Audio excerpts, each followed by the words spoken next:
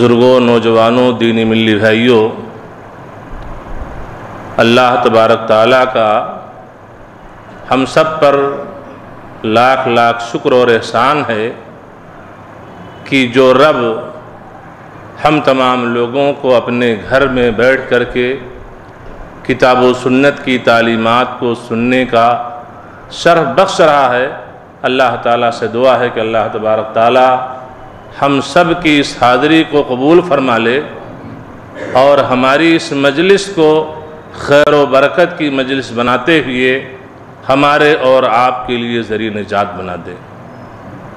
मोहतरम दीनी भाइयों, मैं अपने आप को बहुत ही खुश नसीब समझता हूँ और हमारे लिए सादत की बात है कि पहली बार आपके शहर हैदराबाद में मुझे आने का इत्तेफाक हुआ। और यहाँ के मस्जिद के इमाम व ख़तीब शेख तय्यब हिलाल हफिज़ुल्लाह ने यहाँ के मुंतजमीन से जैसा कि आपने सुना, दरख्वास्त की कि मेरा दर्स रखा जाए तो अल्लाह तबारक ताली शेख मौसूफ़ को और यहाँ के मुंतजमीन को अल्लाह तबारक ताली जजाय खैर दे और उनके इस अमल और काविश में अल्लाह तबारक ताली मज़ीद बरक़ात फरमाए और इनकी इन जहूद को और कोशिशों को अल्लाह ताला कबूल फरमाए। मोहतरम दीनी भाइयों, आज के इस दर्स में मैं मुख्तसर तौर पर चंद ऐसी चीज़ों को बयान करना चाहूँगा कि इंसान इस दुनिया के अंदर रहते हुए बहुत सारे आमाल सालिहा कर लेता है, नेक काम कर लेता है लेकिन इन नेकियों की हिफाजत कैसे की जाए? ये नेकियाँ हमारे नाम आमाल में महफूज कैसे रहें कि कल बरोज़ क़यामत ये नेकियाँ हमारे लिए रफ़ दर्जात का सबब बन सकें? जन्नत और जन्नत की नेमतों के पाने का हकदार बन सकें और जहन्नम और जहन्नम के अजाब से निजात का सबब बन सकें? तो हमारी इन नेकियों की हिफाजत कैसे हो?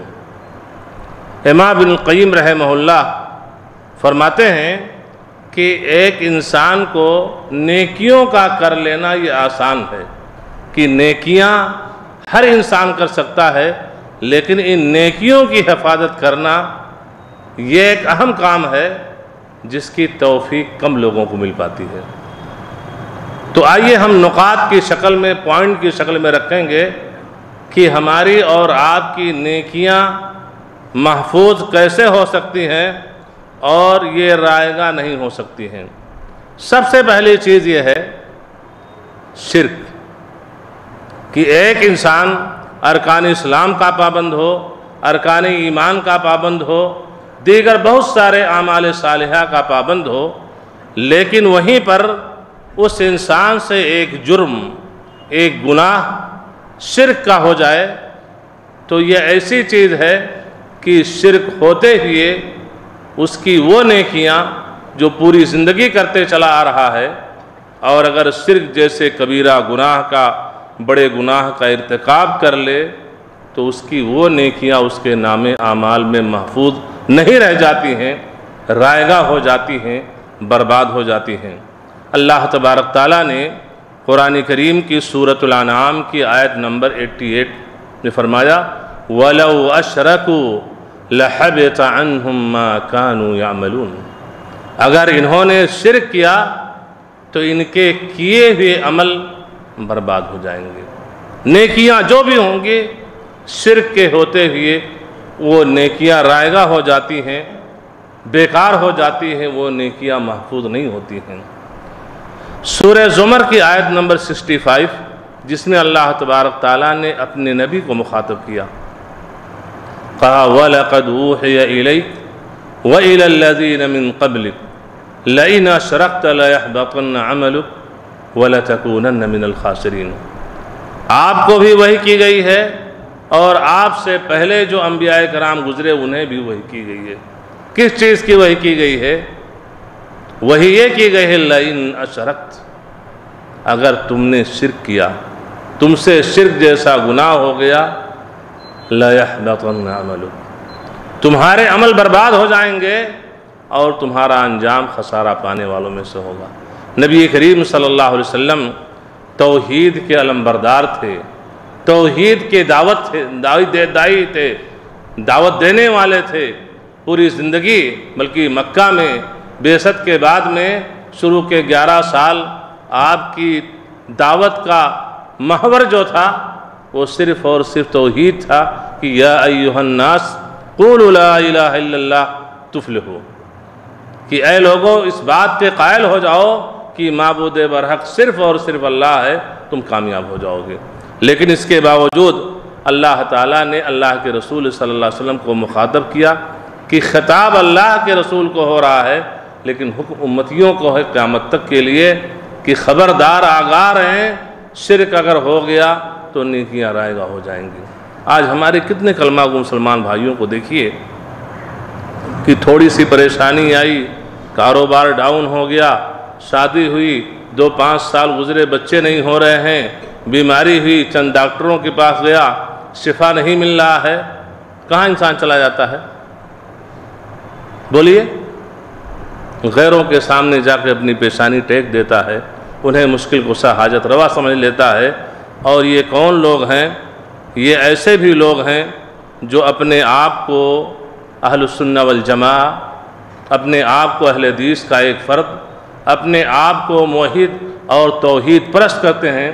उनके भी यहाँ ये चीज़ें शराइत कर गई हैं, ज़ाहिर सी बात है। ये चीज़ क्या है? ये शिरक अकबर है।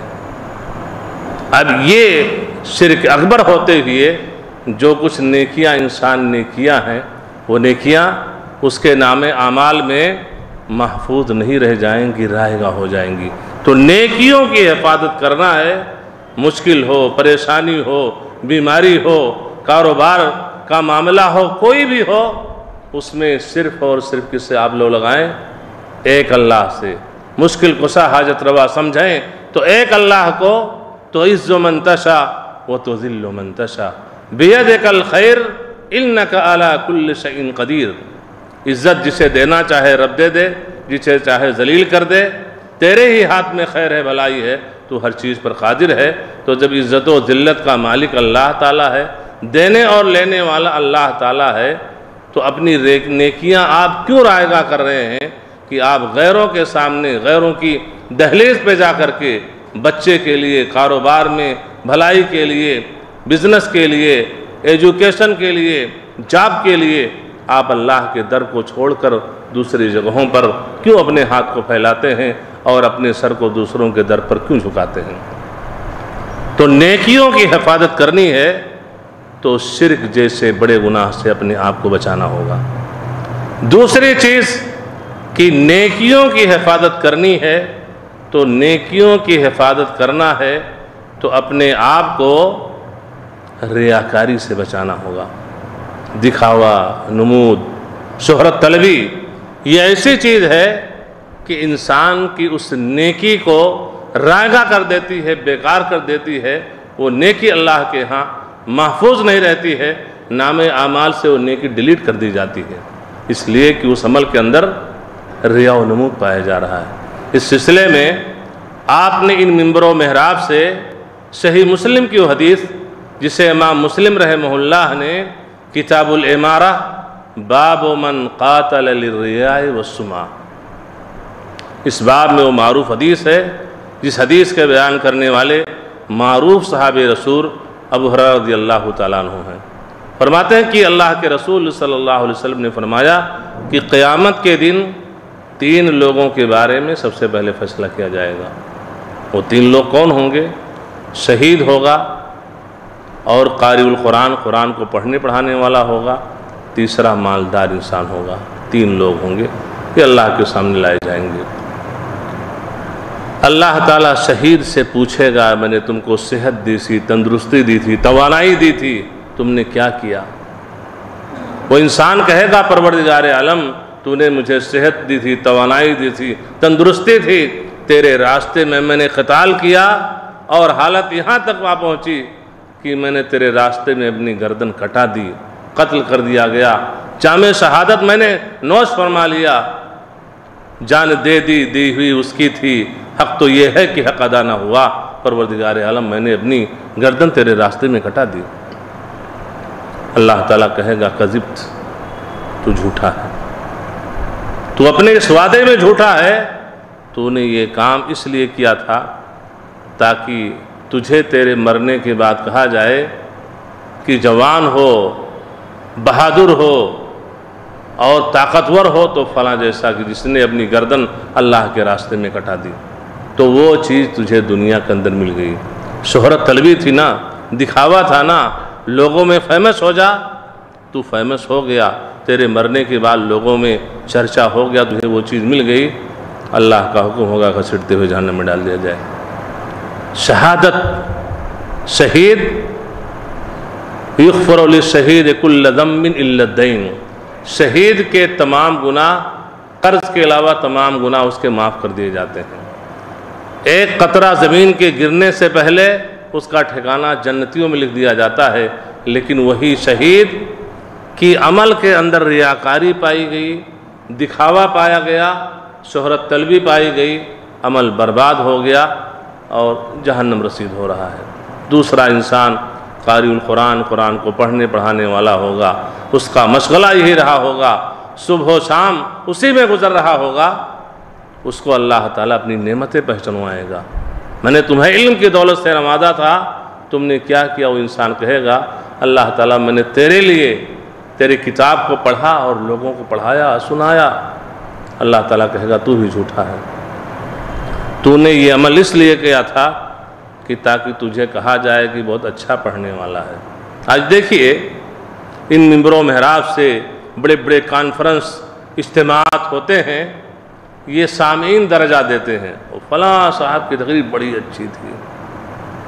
पूरे मजमे को उन्होंने रोला दिया। पूरे मजमे में सन्नाटा तारी हो गया।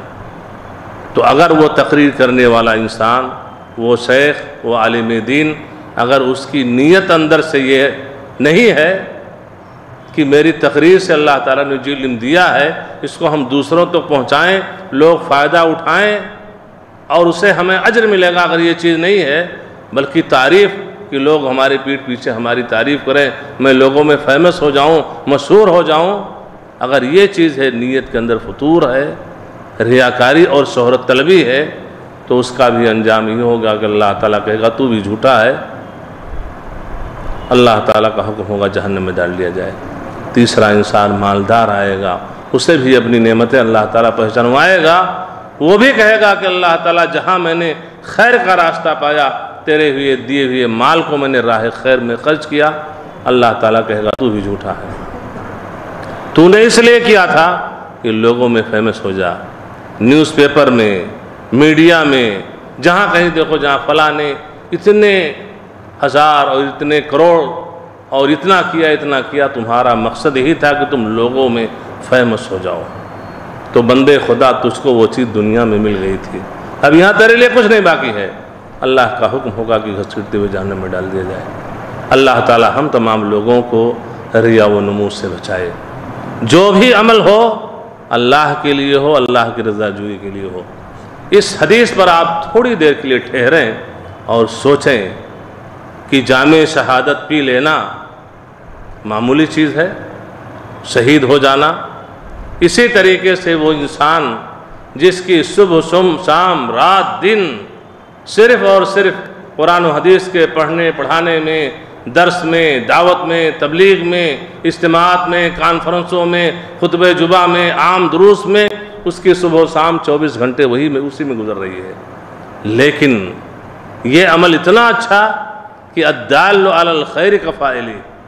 जितना वो इंसान लोगों को रहनुमाई कर रहा है, नेक काम के करने की, जितना लोग करेंगे, करने वालों को सवाब मिलेगा, उतना ही आलिम को शेख को, इमाम को, ख़तीब को भी उतना ही अजर सवाब मिलेगा।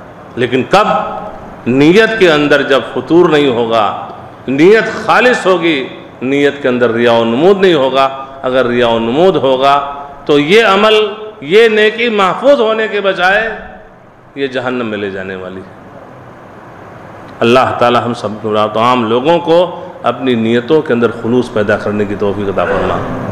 आज देखिए कि कितने ऐसे हमारे भाई होते हैं, अगर किसी पड़ोसी को कुछ मदद कर दी, किसी बेवा की मदद कर दी, किसी यतीम की कफालत ले ली, मस्जिद में कुछ पैसा दे दिया, किसी मदरसे में कुछ डोनेट कर दिया तो जब तक चार लोगों के बीच में बैठ करके चाय की दुकान पर या आम मजलिसों में जब तक उसको बयान ना कर दे जिससे लगता है उसको एक उलझन रहती है। वो मस्जिद में फला काम हो रहा था, मैंने दो लाख रुपया दे दिया।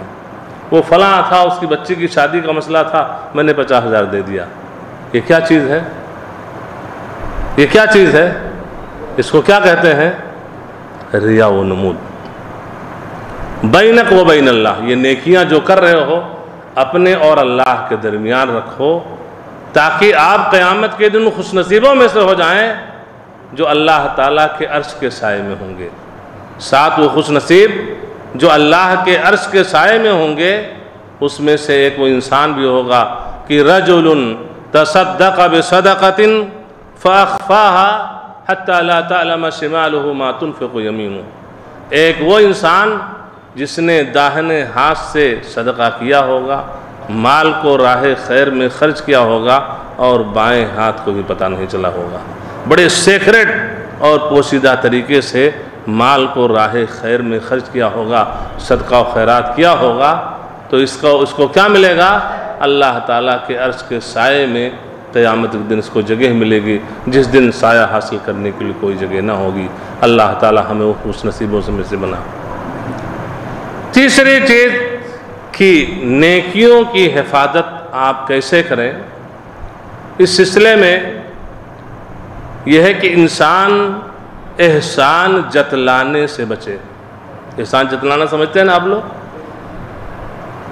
आपका कोई करीबी है, आपका कोई पड़ोसी है, आपका दोस्त है, आपका रिश्तेदार है, किसी मोड़ पर कोई उसके यहाँ परेशानी थी, भी लॉकडाउन ही गुजरा मिसाल के तौर पर। आपको अल्लाह ताला ने माल से नवाजा था। कारोबार बंद हो गया, लेकिन आपके पास सेविंग इतना था, कोई फ़र्क नहीं पड़ा। दूसरा आपका रिश्तेदार है, दोस्त है, कोई है रोज सुबह कमाने वाला, शाम को खाने वाला, वो तो भाई दो साल बैठ गया। आपने उस लॉकडाउन में उसकी कुछ हेल्प कर दी ताउन कर दी। किसी वक्त कोई ज़रूरत आपको उससे आ पड़ी। आपने कहा, उसने कहा, भाई, नहीं हो पाएगा। आपने कहा, भूल गए? अभी लॉकडाउन जो गुजरा है, अभी साल भर नहीं हुआ। घर में तुम्हारे राशन में भरवाया था। तुम्हारी बीवी डिलीवरी थी, पैसा मैं दिया था। तुम्हारा बच्चा बीमार था, मैं किया था, भूल गए। अभी साल नहीं गुजरे हैं, भूल गए। ये क्या है? ये टून और ये ताबीर और ये उसलूब क्या है? इसको कहते हैं एहसान जतलाना। अल्लाह ताला ने कुरान में क्या कहा है? या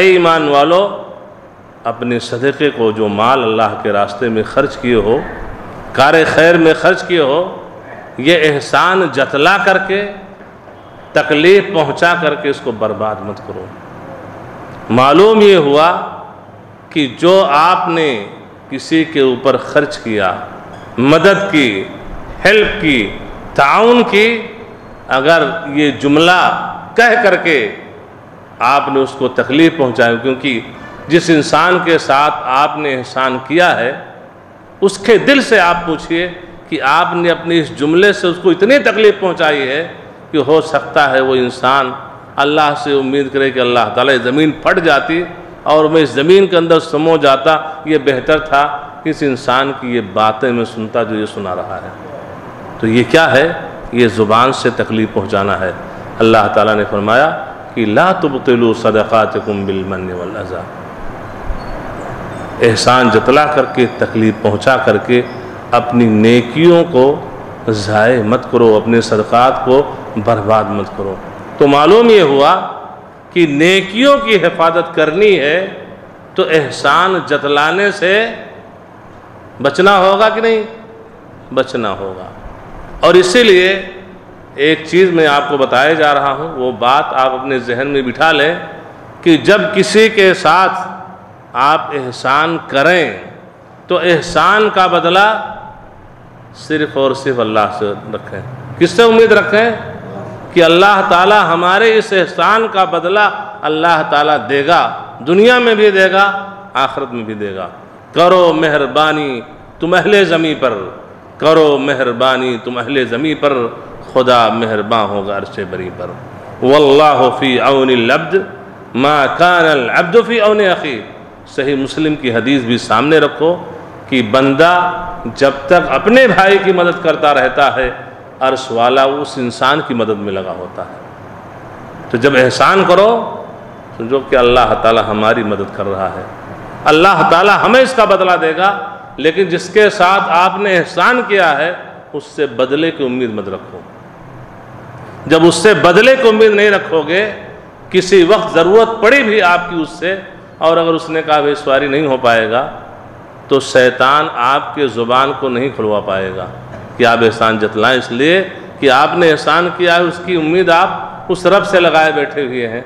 तो ये फार्मूला जहन में आप रखें तो आप शैतान के हरबे से महफूज हो जाएँगे और उस वक्त अपने भाई को माजूर समझेंगे कि हो सकता है कुछ प्रॉब्लम्स हो, कोई ऐसी चीज़ हो कि माजरत कर दिया, कोई बात नहीं है। किसी और से कह लेते हैं, किसी और से वो काम करवा लेते हैं तो आप एहसान जतलाने से बच जाएँगे। और जब एहसान जतलाने से आप बच जाएँगे तो आपकी वो नेकी महफूज होगी कि नहीं होगी? वो नेकी महफूज होगी। तो नेकियों की हिफाजत करनी है तो आप एहसान जतलाने से बचिए। और एहसान जतलाने का ये बड़ा नुकसान कि आपकी नेकी रायगी रायगा हो गई, बर्बाद होगी आपके नाम आमाल में महफूज ना रही। और उसका बड़ा नुकसान, उखरवी नुकसान ये है कि चार सज़ाएँ ऐसे इंसान को बैक वक्त मिलेंगी। वो सही और मरूफ हदीस जिसके रवायत करने वाले अबू दर रदी अल्लाह तु हैं, अल्लाह के रसूल सल्लल्लाहु अलैहि वसल्लम ने फरमाया, सलासतुन ला युकल्लिमुहुमुल्लाहु यौमल क़ियामा वला यंजुरु इलैहिम वला युदक्कीहिम वलहुम अजाबुन अलीम।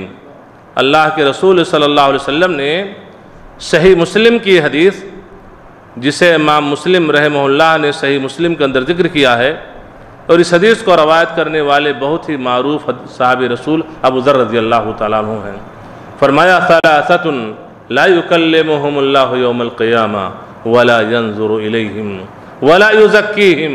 वलहुम अल्लाह के रसूल अलैहि वसल्लम ने ये जुमला तीन बार दोहराया कि तीन ऐसे लोग हैं कि अल्लाह तबारक ताला के दिन उनसे गुफ्तु नहीं करेगा, हम कलाम नहीं होगा उनकी तरफ़ नज़र रहमत से देखेगा नहीं, उनके, उनको उनके गुनाहों से पाको साफ़ नहीं करेगा, उनके लिए दर्दनाक अजाब होगा। चार सज़ाएँ बैक वक्त ऐसे लोगों को मिलूँगी। और यही जुमला अल्लाह के रसूल सल्लल्लाहु अलैहि वसल्लम ने तीन बार दोहराया। सहाबी रसूल जिस हदीस के बयान करने वाले हैं, कहते हैं कुल तो मन हम, या रसूल अल्लाह कद खाबू व खसरू। अल्लाह के रसूल सल्लल्लाहु अलैहि वसल्लम, भला ये कौन लोग हैं? ये तो गए, मिट गए, बर्बाद हो गए, इनकी मिट्टी पलीद हो गई, ये तो बर्बाद हो गए। अल्लाह के रसूल सल्लल्लाहु अलैहि वसल्लम ने फरमाया अल मुस्बिल वल मन्नान वल मुनफ़िक सिलतहु बिलहलफिल कादिब अल्लाह के रसूल सल्लल्लाहु अलैहि वसल्लम ने वो तीन लोग कौन होंगे, उनका नाम लेते हुए फरमाया, कहा, एक वो है जो अपने कपड़े को टखने से नीचे पहनने वाला हो। ये पाजामा ये पैंट, ये तहबन टखने से नीचे जो लोग पहनते हैं, ये पहला इंसान है। दूसरा इंसान वल मन्नान, एहसान जतलाने वाला। तीसरा इंसान झूठी कस्में खा करके सामान को बेचने वाला हो। कितने लोग निकलेंगे इस हदीस में? अगर अभी खड़ा कर दिया जाए मस्जिद में तो पायजामा, तहबंद, पैंट कितने लोगों का टकने से नीचे होगा? नब्बे फ़ीसद लोगों का होगा ना? क्यों इमाम साहब? कितने लोगों का होगा? सौ में नब्बे लोग आ जाएँगे। इसको आप मामूली गुनाह समझते हैं? ये कबीरा मिन कबायर जुनू बड़े गुनाहों में से है कि कल अल्लाह ताला ऐसे इंसान से बात नहीं करेगा, रहमत की निगाह से नहीं देखेगा, गुनाहों से उसको पाको साफ़ नहीं करेगा और नहायत ही दर्दनाक एजाब इस इंसान के लिए होगा। तो इस अमल से इंसान को बाज आना चाहिए। छोड़ना चाहिए कि नहीं छोड़ना चाहिए? छोड़ना चाहिए। दूसरा इंसान कौन होगा? एहसान, जतलाने वाला। तो एहसान, जतलाने का नुकसान क्या? कि आपकी नेकी रायगा हो गई, नाम अमाल में महफूज नहीं रही। और उसका उखरवी नुकसान कि क़यामत के दिन चार सज़ाएँ आपको मिलेंगी। ये सज़ाएँ गवारा हैं। इंसान को गवारा है। दुनिया के अंदर हमारा और आपका हाल ये है कि अगर हम किसी कंपनी में जॉब कर रहे हैं, या हम किसी क्लाइंट से हमारा लेन देन हो रहा है, जिससे हम लाखों करोड़ों रुपए कमा रहे हैं, अगर दो दिन फ़ोन उसका ना आए या फ़ोन करें और वो फ़ोन रिसीव ना करे तो इंसान के पाजामे ढील हो जाते हैं। इंसान जॉब कर रहा है, ऑफ़िस में गया, कहीं बॉस ने थोड़ा सा नाराज़ हो गया दो एक दिन बात नहीं किया तो इंसान के पाजामे ढीले हो जाते हैं काँप जाता है क्या करें भाई? वो होता है कि नहीं होता है? क्या करें भाई, वो बहुत टेंशन में हूँ। क्या भाई? अरे वो हमारा बॉस तो दो दिन से लिफ्ट ही नहीं दे रहा है। वो हमारा क्लाइंट जो था, वो सैकड़ों टन माल जाता था और बड़ा अच्छा था, ये था, वो था, वो तो फ़ोन ही नहीं रिसीव कर रहा है। आदमी हिल जाता है काँप जाता है। ये दुनिया के लोगों का हाल है। अल्लाह ताला जो सारी कायनात का खालिक व मालिक है। सुपर पावर है।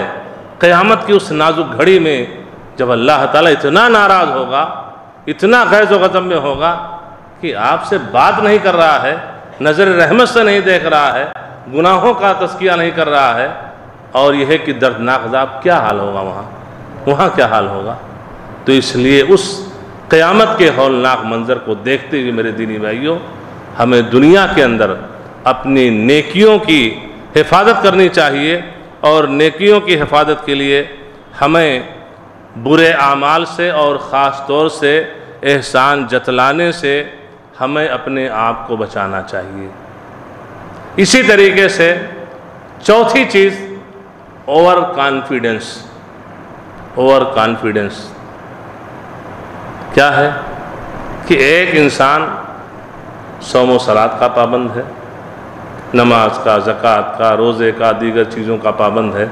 दूसरा इंसान उसी मोहल्ले में है, या उसका कोई रिश्तेदार है, जो सिर्फ़ जुमा पढ़ने वाला है, या अगर हो गया तो जुमा भी छोड़ देता है। किसी मजलिस में बैठा है, बात चलने लगी, उसका ज़िक्र आ गया, कहा, अरे, उस नादान की बात करते हो? उस बेवकूफ़, अहमक इंसान की बात करते हो? मुलहिद ज़िंदगी की बात करते हो? वो मर जाए तो उसको तो सीधे जहन्नम में जाना है, जन्नत में जाने का कोई रास्ता नहीं है। इतना गया गुजरा इंसान है। ये कहते हैं, लोग नहीं कहते हैं। ये हवा में बातें नहीं हो रही हैं। ये सुनी हुई बातें हैं और लोग जज्बात में आकर के कि भाई मैं ही जन्नत का ठेकेदार हूँ। पंज वक्ता नमाज़ में पढ़ने वाला, सफ़े अव्वल में मैं रहने वाला, फ़र्ज़ रोज़ों को रखने वाला मैं, ज़क़़त देने वाला मैं हज उम्र करने वाला मैं, नफली इबादतें करने वाला मैं, और मेरे मुकाबले में तो ज़ीरो है, उसकी बात आ गई। तो होना चाहिए क्या? क्या कहना चाहिए? अल्लाह ताला हिदायत दे। उसके लिए हिदायत की दुआएँ करनी चाहिए कि अल्लाह ताला उस भाई को हिदायत दे। तो ये चीज़ें ना करके ओवर कॉन्फिडेंस कि उसकी, अरे वो तो सीधे जानने में जाएगा। उसकी बात कर दी, मजलिस ख़राब हो गई, मजलिस बेरौनक हो गई। उसकी बात सीधे जहन्नम में जाएगा। ऐसे लोगों के बारे में अल्लाह ताला ने क्या फरमाया? सही मुस्लिम की हदीस और इस हदीस को रवायत करने वाले जुंद रदी अल्लाह तु हैं।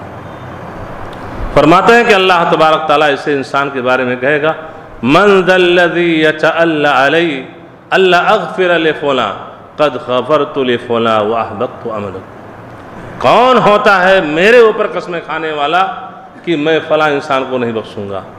ये कौन होता है? इसकी ज़रूरत कैसे कि ये मेरे ऊपर कसमें खा रहा है, मेरे ऊपर चढ़ के बातें कर रहा है कि मैं फ़ला इंसान को माफ़ नहीं कर सकता हूँ, मर जाए तो सीधे जानने में जाएगा, ये कौन होता है? कद गफ़र तुल फला जिसके बारे में तू ये कह रहा था कि ये मर गया, सीधे जहन्नम में जाएगा, इसकी मफरत हो ही नहीं सकती है, कद गफ़र तुल फला मैंने उस फला बंदे की मफरत फरमा दी है। परवाने मफरत मैं उस इंसान को दे चुका हूँ। वह अहबत अमलक। और तेरे अमल को मैंने बर्बाद कर दिया। अल्लाह ताला हमें इस किस्म की जुमला कशी से अल्लाह ताला बचाए। और जब किसी ऐसे बेदीन इंसान का, दीन से दूर इंसान का ज़िक्र आए मजलिस में तो हम जज्बात में आकर के ऐसे जुमले न बोलें, जो जुमला, जो सेंटेंस हमारी नेकियों को बर्बाद करने वाला हो, हमारी नेकियों के बर्बादी का सबब बने, बल्कि ऐसे भाई के लिए हम अल्लाह ताला से सिद्क दिली के साथ दुआएँ करें कि अल्लाह ताला, जैसे तूने मुझे हिदायत दी दी है, हम तुझसे दुआ करते हैं कि अल्लाह ताला मेरे उस नादान भाई को भी अल्लाह ताला तू हिदायत दे दे। ये किरदार हमारा होना चाहिए। इसके बाद में आखिरी चीज़, चूँकि वक्त की भी कमी है, मुझे इसके बाद कहीं और जाना है, वहाँ ऐसा के बाद प्रोग्राम है। इसलिए इस दर्स का आखिरी टुकड़ा, वरना बहुत सारी और चीज़ें हैं कि जिन चीज़ों के करने से इंसान की नेकियाँ रायगा हो जाती हैं, उसकी नेकियाँ महफूज नहीं होती हैं। ये आखिरी नुक्ता कि जब इंसान तन्हाई में हो तो तन्हाई में हो करके मौका पा करके जिन चीज़ों को अल्लाह ताला ने हराम ठहराया है, उन चीज़ों को कर बैठे। इंतहा को हरमात फ़िल खलवा। तन्हाई में हो गया तो वो हराम चीज़ें जो हराम अल्लाह ताला ने किया है, उसे कर गुजरे, इसलिए कि यहाँ कौन देख रहा है।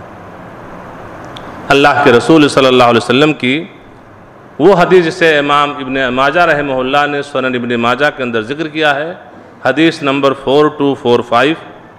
और इस हदीस के रवायत करने वाले मरूफ साहब रसूल सौबान रज़ी अल्लाह तु हैं। फरमाते हैं कि अल्लाह के रसूल सल्लल्लाहु अलैहि वसल्लम ने फरमाया लमन अकवामिन उम्मती यातून यौमक़ियाम बेहसनातिन अमसाल जिबाल चहामतिन बैदा। फ़ैजअल्लाहु अज़्ज़ वजल हबा मंसूरा काल सौबान या रसूल अल्लाह सिफ़हुम लना जल्लहिम लना अल्ला नकून मिनहुम व नहनु ला नअलम काल अमा अन्नहुम इख्वानुकुम व मिन जिल्दतिकुम व याखुदून मिन अल-लैल कमा ताखुदून वलाकिन्नहुम अक़वामुन इदा खलौ बिमहारिमिल्लाहि इंतहकुहा अल्लाह के रसूल सल्लल्लाहु अलैहि वसल्लम इस हदीस के अंदर इशात फरमाते हैं कि मैं अपनी उम्मत के ऐसे लोगों को जानता हूँ जो क़यामत के दिन अल्लाह ताला के सामने आएँगे कि उनकी नेकियाँ तहामा के पहाड़ की तरह से चमक रही होंगी। पहाड़ के बराबर होंगी तहामा। ये जो लोग सऊदिया गए होंगे, साउथ सऊदिया में एक जगह है जहाँ ठंडा इलाका अबहा और बहा का है, वहाँ एक पहाड़ी से तहामा का कहा जाता तहामा का एरिया कहा जाता है। तो अल्लाह के रसूल सल्लल्लाहु अलैहि वसल्लम ने उस एरिए के उस पहाड़ी का ज़िक्र किया कि ऐसे उम्मतियों को मैं जानता हूँ कि क़यामत के दिन आएँगे, उनकी नेकियाँ तहामा के पहाड़ के बराबर होंगी। यानी बहुत सारी नेकियाँ इंसान ले करके हाजिर होगा। पहाड़ कितना वजनी होता है, उसका वज़न हमें मालूम है? किसी को नहीं मालूम है, अल्लाह के अलावा। अल्लाह तबारक ताला उसकी नेकियों को बिखरे हुए ज़र्रात की तरह बना देगा। जिसको किससे हम देखते हैं ज़र्रात को? ऐसे नहीं दिखता है वो। और उसकी क्या वैल्यू है ज़र्रात की? कुछ वैल्यू है। अल्लाह ताला उन्हें ऐसे उन बेवैलू ज़र्रात की तरह से अल्लाह ताला बिखेर देखा। कोई वैल्यू नहीं होगी उन नेकियों की। यानी नेकियाँ उसकी रायगा हो जाएँगी। सहाबी रसूल कहते हैं अल्लाह के रसूल सल्लल्लाहु अलैहि वसल्लम ज़रा उनके बारे में मुझे बता तो दीजिए। आखिर वो कौन लोग हैं? ऐसा ना हो कि हम वो चीज़ें कर बैठें और हमें उसका शोर और एहसास ना हो। तो ज़रा बता तो दीजिए।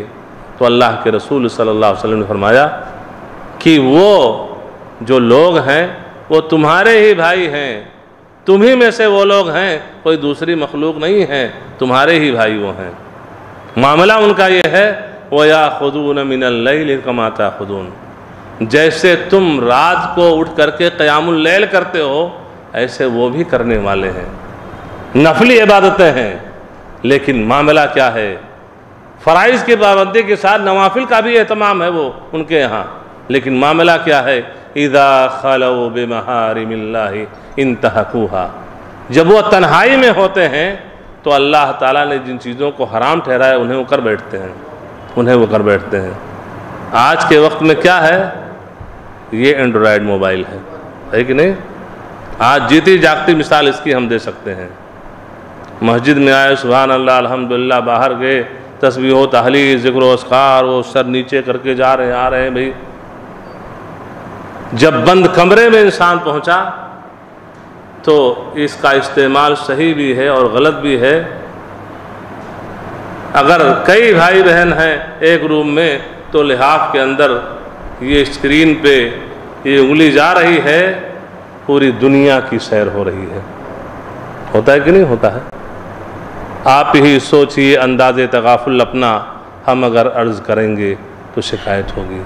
हर कोई अपना मुहासबा कर सकता है कि ये चीज़, या यह है कि इसके ज़रिए इंसान तन्हाई में है, भाई आप यहाँ पे हैं, हैदराबाद में हैं, आप कहीं जा रहे हैं, आपको डर है कि कहीं भी जाएँ हो सकता है कोई इंसान गुजर रहा हो किसी काम से उसकी नज़र पड़ जाए, लेकिन हैदराबाद का आदमी बम्बई में पहुँच गया बम्बई का हैदराबाद आ गया, या हैदराबाद का सऊदी चला गया, इंग्लैंड गया, दूसरे कंट्री में चला गया तो तनहा है। अब वहाँ समझता है कि तो हम आज़ाद हैं, यहाँ सीसी कैमरे नहीं लगे हुए हैं, हमारे गाँव और मोहल्ले का कोई इंसान नहीं है, हम जिधर चाहें, जहाँ चाहें, जिस होटल में चाहें, जैसे चाहें, जैसे घुस जाएँ, हमको कौन देखने वाला है? तो क्या है? ये वो लोग हैं इदा खलो बेमहारिमिल्ला इन तहकुहा जब तन्हाई में होते थे, इनको मौका मिलता था तो वो हराम काम कर गुजरते थे, जिन्हें अल्लाह ताला ने हराम ठहराया है। तो ये ऐसा अमल है कि इंसान की नेकियाँ अगर पहाड़ के बराबर भी होंगी तो वो नेकियाँ अल्लाह ताला ज़ाय कर देगा। वो नेकियाँ रायगा हो जाएँगी, वो नेकियाँ उसके नाम आमाल में महफूज नहीं होंगी। तो ये चंद चीज़ें थीं जो इस मुख्तसर से वक्त में मैंने आपके गोशे गुजार करना चाहा कि ऐसी बहुत सारी चीज़ें हैं जो आम तौर से लोगों से होती रहती हैं और इंसान एहसास और शोर नहीं कर पाता है कि आखिर इतनी सारी मैं नेकियाँ भी कर रहा हूँ, लेकिन चोर रास्ते से ये नेकियाँ हमारी सब ज़ाय हो रही हैं। कल मैदान महशर में मैं अल्लाह के सामने हाजिर होऊँगा कि मैंने तो बहुत सारे नेक अमाल किए थे लेकिन इन चीज़ों की वजह से हमारी वो नेकियों की झोली खाली होगी और अंजाम ये होगा कि अल्लाह के हुक्म सा हुक्म होगा कि घसीटते हुए इस बंदे को जहन्नम में डाल दे। तो मेरे दीनी भाइयों, अल्लाह ताला से दुआ है कि अल्लाह तबारक ताला हम तमाम लोगों को जो भी थोड़ा या ज़्यादा नेक अमल कर रहे हैं, वो नेक अमल करते हुए हम उन नेकियों की हिफाजत के बारे में फ़िक्रमंद हों। कोई ऐसा काम ना हो कि उस काम के करने से हमारी नेकियाँ ज़ाय हो जाएँ, नेकियाँ हमारे नाम आमाल में महफूज नहीं रहें। ये एक ये फ़िक्र हो कि नेकियों की हिफाजत करते हुए चलें। और दूसरी चीज़ ये है कि उन नेकियों के कबूल होने की अल्लाह ताला से हम दुआएँ भी करते रहें कि मौला हमारी इन नेकियों को कबूल फरमा ले। ये चंद बातें थीं जो आज के इस दर्स के हवाले से आप तमाम के गो से गुजार की गई। अल्लाह तबारक ताली से दुआ है कि अल्लाह तबारक ताली जो बातें किताब सुन्नत के हवाले से आज की इस मजलिस में, इस मस्जिद तोहद हैदराबाद में पेश की गई हैं, मौला तुझसे यही दुआ है कि इस पर तमाम सामीन व हाजरीन व नाजरीन भाई बहनों को अल्लाह तबारक ताली इस पर अमल करने की तोफ़ी अदा फरमा। हम में से जो लोग बीमार हैं, अल्लाह ताला उन्हें शफाय आजला कामला फरमा। जो लोग किसी भी तरीके से परेशान हैं, अल्लाह ताला उनकी परेशानियों को दूर फरमा। मौला हम सबको हर खैर की तोफ़ी अदा फरमा हर शर और फितन फसाद से मौला हम तमाम लोगों की हिफाजत फरमा व सल्ला नबीना मोहम्मद व अल वसाब वसलम वालकम वरहमत ला वबरक